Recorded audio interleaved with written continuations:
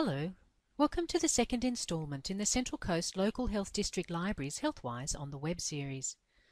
These short videos are intended to provide pointers for finding quality health information on the internet. They are not intended to replace advice from your health professional, and you should always discuss with your doctor any information you find on the internet or from any other source.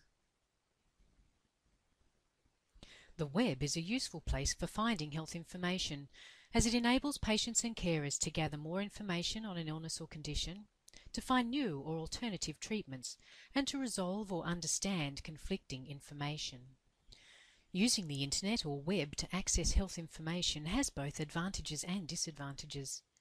The advantages include being able to access general or background information on a condition that's not likely to change, accessing current information that may not be available elsewhere, finding information in different formats such as video or audio, and accessing contact details of health organisations or groups.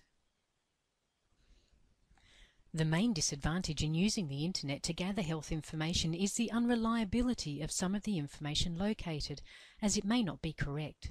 Anyone can create a website and information placed on the web is not always monitored or critically reviewed. Often it can just be someone's opinion rather than fact.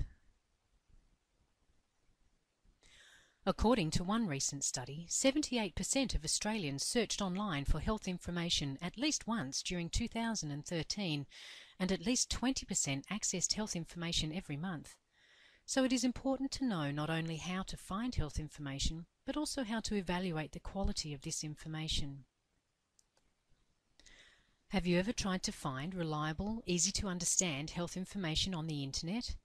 The next video in the series will discuss how to do this.